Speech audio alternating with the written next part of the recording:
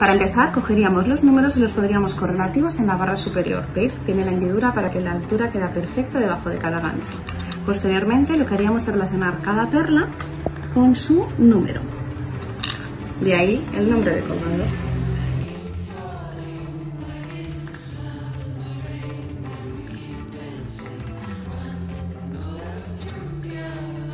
A partir de esta primera presentación se plantean un montón de actividades, todas con el objetivo de reforzar lo que es el concepto de cantidad con la grafía de número.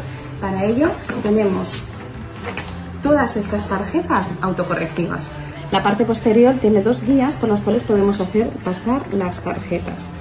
Por aquí tendríamos la primera cara, ¿de acuerdo? Donde veríamos las fichas y donde veríamos la corrección.